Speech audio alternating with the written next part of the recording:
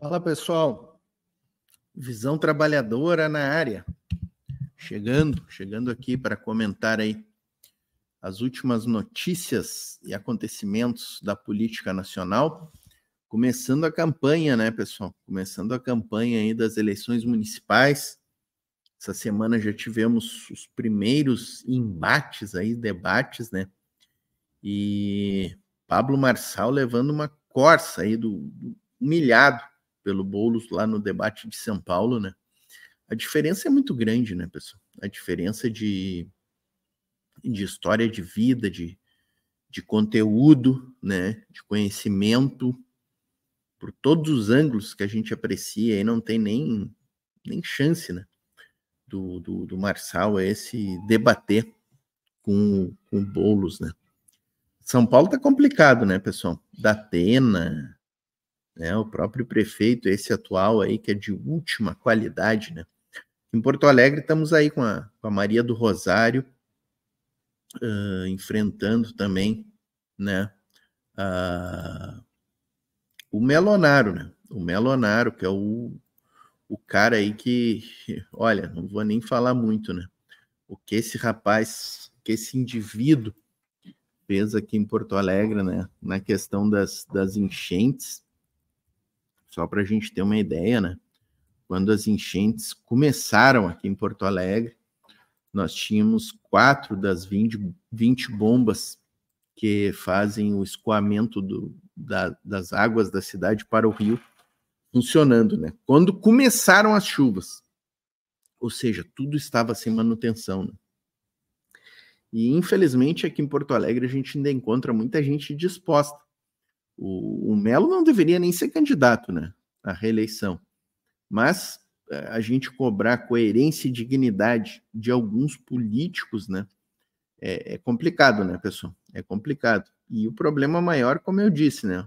Quem vai votar no indivíduo que fez o que fez com a população aqui de Porto Alegre? Inclusive, assim, pessoal, já fazem três meses que as enchentes terminaram e, a, e ainda ainda há pessoas morando embaixo de viadutos, fora de suas casas, em condições indignas aqui em Porto Alegre, e este indivíduo tem assim a cara de pau de ser candidato à reeleição. Né? Se o Melo se reeleger aqui em Porto Alegre, pessoal, eu não sei mais o que dizer. Eu não sei nem mais o que dizer. Mas vamos trazer aqui, ó, o Leandro Fortes vai repercutir um pouco aí deste primeiro debate, eu quero trazer para compartilhar com vocês. Vou, já vou avisando aqui, ó, pessoal, vou trazer três vídeos aqui, tá? Esse do Leandro Fortes, para a gente repercutir aí o, o, debate lá em São Paulo. Vou trazer o Alisson Mascaro comentando aí sobre a questão da educação, né? Políticas de educação, e ele dizendo que não existe uma política de educação das massas sem se tocar no ponto do anticapitalismo. Né? Quero trazer para vocês esse vídeo e quero fechar com um vídeo no qual Lindbergh Farias comenta aí as investigações contra o Campos Neto, né? o, o vagabundo sabotador do, do Brasil. Então, esses três vídeos eu vou trazer para vocês, a gente repercute a notícia e eu confesso que eu não assisti nenhum dos três vídeos, tá? Vou assistir junto com vocês e fazer o, o react, react legítimo, tá, pessoal? O react sem ter visto antes o vídeo. Vamos soltar aqui o Leandro Fortes, do DCM. Ah, ah, esse debate de São Paulo ontem, os debates se a própria campanha eleitoral municipal das, das capitais, eu acho que ainda demonstra, acho, não tenho certeza, demonstra o quão nós ainda somos um país absolutamente indigente do ponto de vista político e eleitoral. Né? Perfeito. Totalmente indigente. Eu, bom, eu acabei de falar, né? O fato do Melo ser candidato em Porto Alegre demonstra toda a indigência política que a gente está vivendo, especialmente aqui na capital do Rio Grande do Sul. Né? Galera, uh, antes de eu dar sequência aqui, ó, chega deixando a curtida, tá? E diga no chat de que cidades estão assistindo. Isso aqui para nós é fundamental para o canal. A gente tem conseguido ganhar do algoritmo com esses comentários que vocês vão deixando no chat aí. E, e, também tem a importância da gente saber o mapa aí, né, de quem nos assiste, poder conversar com vocês no chat. O candidato lá de, de Teresina deu um, uma cabeçada na cara do, do, candidato do PSOL em pleno debate. É o prefeito de Teresina deu uma cabeçada no rosto do, do candidato PSOL, ao vivo. O, o, o, essas coisas assim, ao vivo, tá? porque esse, essa gente perdeu completamente o dor. É, eu assisti esse vídeo aí, gente. É, é, é, é, o símbolo da extrema-direita, né? Num debate eleitoral, um candidato bolsonarista vai lá e dá um, uma cabeçada no outro candidato, que é o atual prefeito da cidade. É um absurdo completo. Perdeu o pudor e não confia nas instituições, nem na justiça, nem na polícia, não acredita, sabe? Ele tem absoluta certeza de que nada vai acontecer. O Pablo Massal, que a gente separou uns, né, vamos botar uns, daqui a pouco uns trechos, é, é a retomada do esgoto bolsonarista na sua plenitude. E a gente precisa falar dele. Eu trabalho, eu trabalho com redes sociais há muitos anos. Tenho uma agência de marketing digital que só trabalha com redes sociais. Tem uma arapuca que a esquerda se mete todo dia. E o campo progressista se mete todo dia.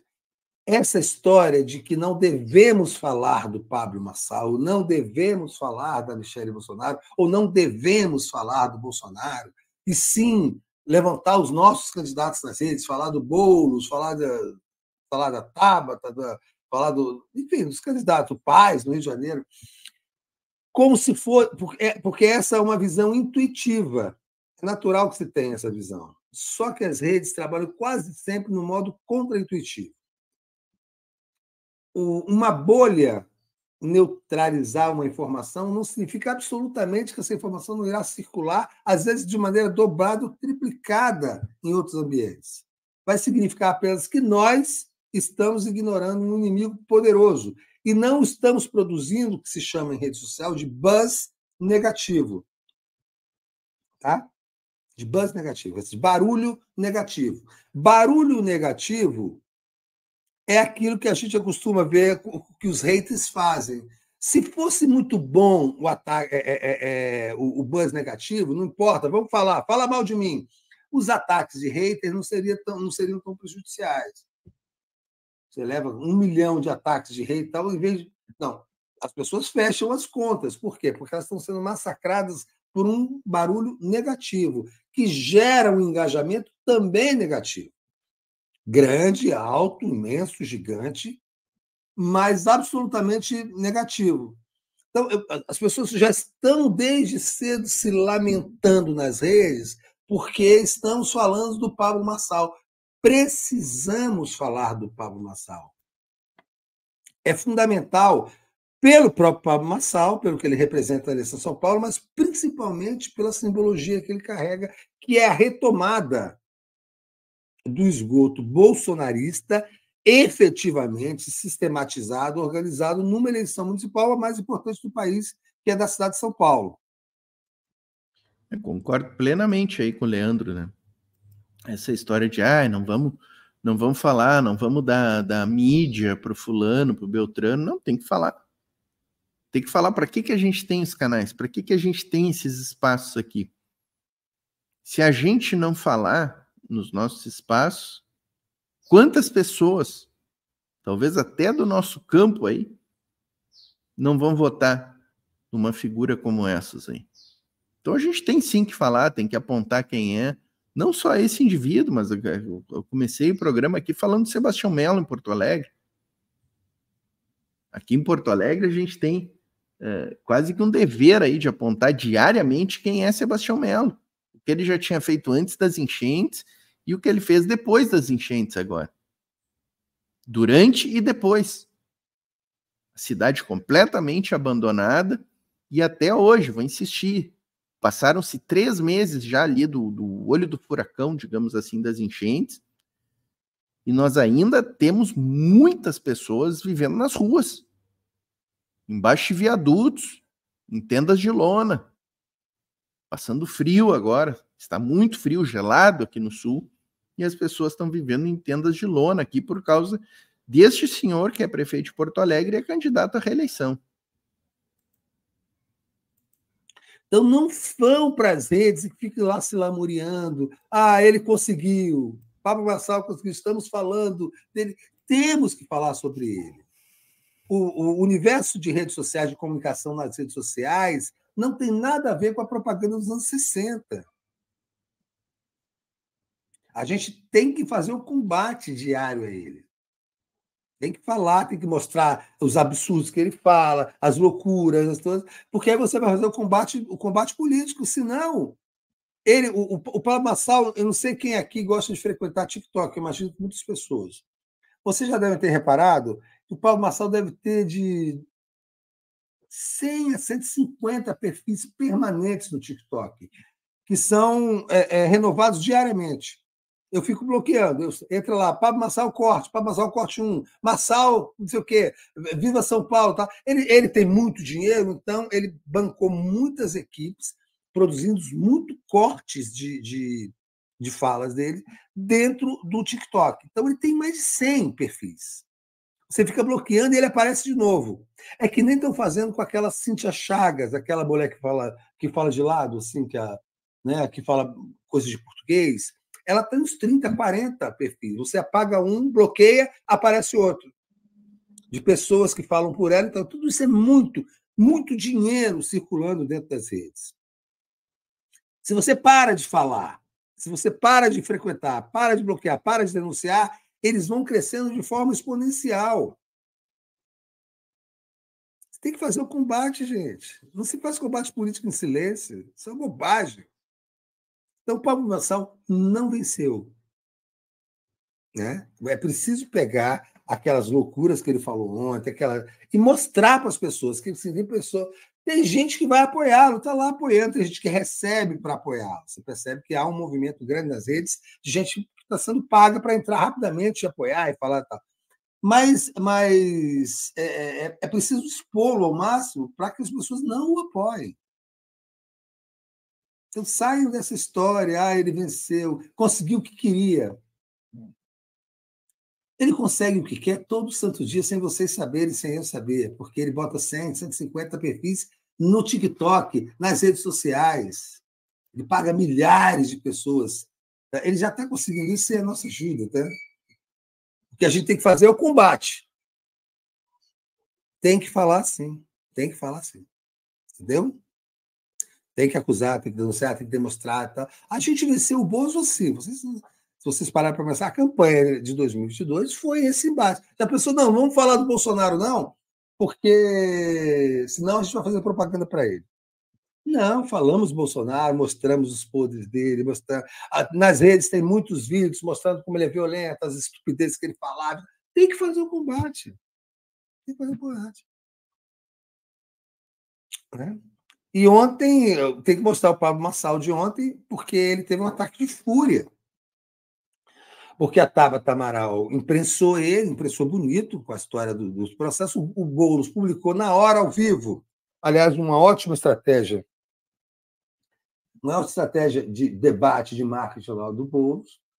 É, ele fica acusando o Boulos de ser cheirador de cocaína. Ele fala que agora o candidato bolos, quer dizer, comedor de açúcar. É, é, é, esse esgoto não pode passar batido, não. E o Boulos falou: estou publicando agora, aqui na nossa rede. Né? Olha aí, ó, mostra aí. Olha aí, aumenta, aumenta, aumenta o som também. A pergunta vai pro, pro Boulos. A pergunta vai pro, pro Boulos. Tá vendo? É, se você tem que denunciar isso, você tem que expor isso, você tem que botar o canalha. Você viu que uma pessoa ri, ele levou pessoas pagas para rir, porque ele conhece a construção. É, é, é, é a política delinquente, rasteira do esgoto, né? É a política do esgoto. O próprio traje do candidato. Né? A gente ficar se lamentando, a gente tem que fazer a nossa construção. Ele levou, ele levou claque, ele já estava preparado o corte para colocar nas redes dele, porque isso vai para as redes dele como um trunfo, viu? Fala aí, Thaís. Os 80 mil pessoas que estão nas ruas de São Paulo, famélicas, passando frio, fome, abandonadas, doentes, desesperançadas, ele diz que nenhuma delas é, é, é atleta olímpico. A gente tem que pegar essas coisas, discutir, expor e tal, porque senão acontece o que aconteceu no Rio de Janeiro com o Witzel. De uma hora para outra, o cara foi eleito governador. Olha aí, o, olha aí nosso Guilherme Boulos, mostra aí. Ontem saiu muito bem, aliás. Se tiver, eu deixo aqui essa, essa disputa agora imediatamente, tá bom? Só o comecinho do vídeo, que é a fala do Pablo Marçal, e depois o Boulos responde. Acho que ele foi ótimo aí, viu, Leandro? Falou, ó, tá subindo agora, bem. condenação. Respondeu Não. na lata. E aí, aí, Sim, tem que expor quem é a figura, né? Tem que expor quem é a figura. Estamos diante de um delinquente, condenado, com sentença. Simples assim, né?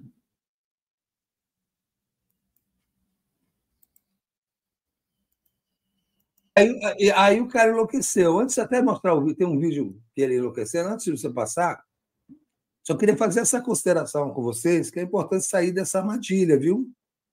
Não vamos falar, ele conseguiu, só se fala nele, claro. Mas a, só se fala nele é um barulho altamente negativo. Não só se fala nele porque ele ganhou uma medalha de é que nem a Rebeca. Só se falou, na segunda-feira, só se falou da Rebeca. Por quê? Porque ela ganhou de ouro. O buzz era positivo, o barulho era positivo. O engajamento é positivo. A gente está falando de um delinquente que é candidato a São Paulo e a gente tem que, já aprendeu na história recente que São Paulo elege delinquentes, que Rio de Janeiro elege delinquentes. São Paulo adora eleger delinquentes, né? Isso aqui é a pura verdade, né? Ramagem está em segundo na, na, nas pesquisas no Rio de Janeiro. O delegado Ramagem, envolvido com a tal da BIM paralela, com, com investigação de políticos, de inimigos do Bolsonaro, com rachadinho, toda podridão. Como é apoiado pelo Bolsonaro, ele está em segundo no Rio de Janeiro, atrás do, do Paz. O Datafolha ontem deu que o, o Ricardo Nunes ganha do Boulos no segundo turno com 12 pontos de diferença. Vamos ficar em silêncio? Que as coisas vão se ajeitar naturalmente se a gente não falar do Ricardo Nunes? Se não falar que ele bate na mulher dele? A Tabata foi muito corajosa. Vocês podem não gostar da Tabata e tal, também não tem nenhuma preço pela Tabata, foi chata. Mas ela foi muito corajosa. Ele botou assim: você bate em mulher, não podemos eleger. E ele botou a mulher dele na plateia, dando escândalo. A mulher que apanhou dele. Olha como é que funciona. Olha como é a sintonia. Vixe, eu não sabia de tudo isso, hein? Que baixaria que tá São Paulo, hein, gente? Que nível que tá essa disputa em São Paulo? Meu Deus, pobre São, pobre São Paulo, pobre paulista, né? Aquela canção do Ira, né? Quem lembra? Dessa dessa periferia moral da política brasileira. Olha como é que funciona. A mulher já foi imbuída, você vai negar que você apanhou. Tem um boletim de ocorrência que ele mentiu. Tem um boletim de ocorrência que o Ricardo Nunes mentiu. No UOL, numa entrevista lá com a Raquel Landim. Ele disse que o boletim era forjado. A Polícia Civil de São Paulo emitiu uma nota dizendo que não, o boletim é verdadeiro e colocou o boletim lá para quem quiser ver. Ele espancou a mulher dele. E a Tabata falou uma coisa: não podemos votar num prefeito que bate mulher. Ponto final. Foi que nem quando o netinho de Paula foi lançado pelo PCdoB em São Paulo e me acusaram de racismo, porque eu falei assim: não podem. Um partido de esquerda, um partido comunista, não pode colocar, lançar um candidato que bate mulher. E ele tinha espancado a mulher dele. Ponto final. Temos que falar sobre isso. Temos que dizer, temos que expor isso. Temos que mostrar isso.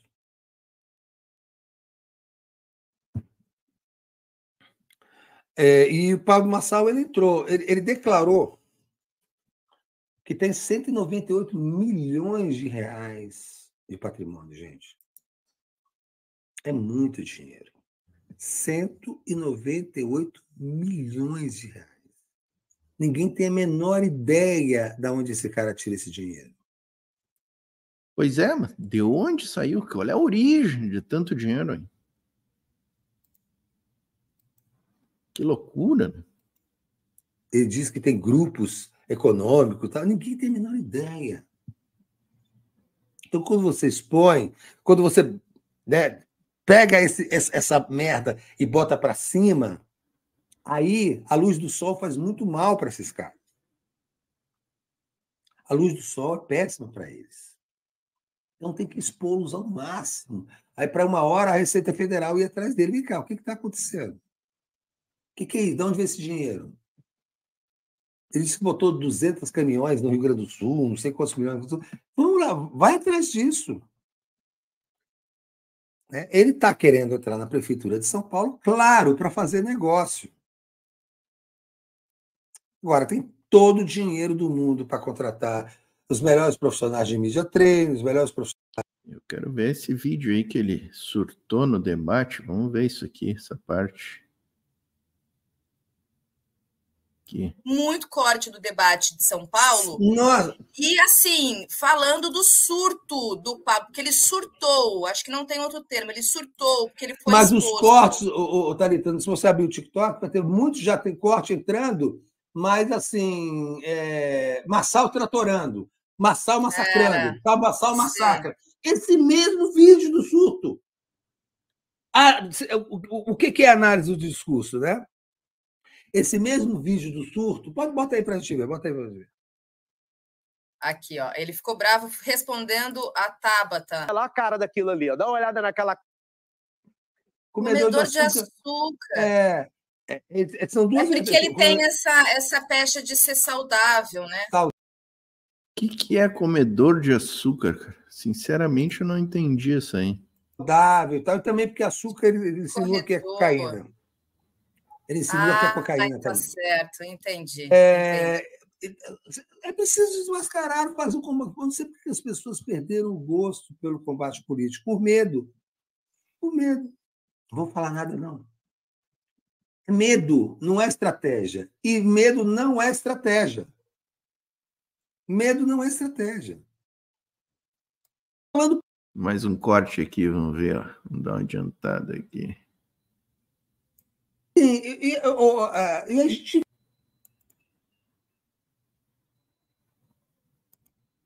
Parado aqui para vocês. Tem um outro também que mostrou a arma, um outro bolsonarista que estava com a arma na cintura, mostrou a arma. Esse aqui é o de Teresina, olha só. Por favor, candidato. Por favor. O senhor tem é, esse um é minuto surreal. para a réplica, candidato. Candidato Francinal, o senhor tem um minuto. É isso. Que isso, ah. cara? Não, é surreal isso aí, cara. Por favor, candidato. É assim, e, e, e, a gente vive hoje numa sociedade absolutamente leniente. Bom, primeiro é o seguinte, eu, eu fico, eu não sei, eu acho que eu sou de uma geração já. É, é surreal, né? É surreal. E, e é a normalização desse tipo de coisa, né? Porque não é possível, cara, que esse indivíduo possa continuar sendo candidato, dando uma cabeçada no, no outro candidato, entendeu? Não é possível. Ele tem que ser excluído do, do pleito. Não pode ser candidato. Não pode. A gente precisa parar de normalizar esse tipo de coisa, né?